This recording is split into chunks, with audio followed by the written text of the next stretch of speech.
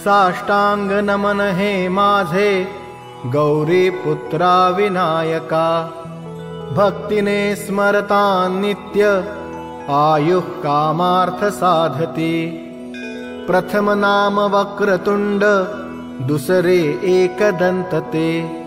तिसरे कृष्णपिङ्गाक्ष चवथे गजवक्रते पाचवे श्रीलम्बोदर सहावे विकटनावते सातवे विघ्नराजेन्द्र आठवे धूम्रवर्णते नववे श्रीभालचन्द्र दहावे श्रीविनायक अकरावे गणपति बारावे श्रीगजानन देवनावे अशी बारा तिन्ही संध्या नर विघ्नभीती नसे त्याला प्रभो तू सर्व सिद्धी दे विद्यार्थ्याला मिळे विद्या धनार्थ्याला मिळे धन.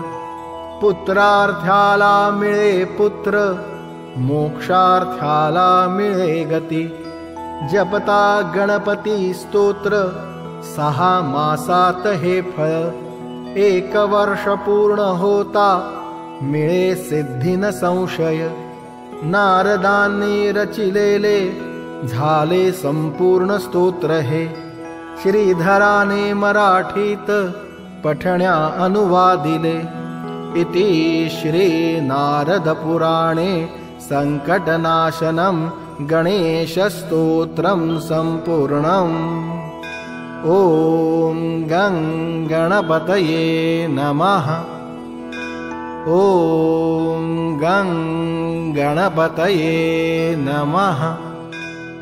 ॐ गणपतये नमः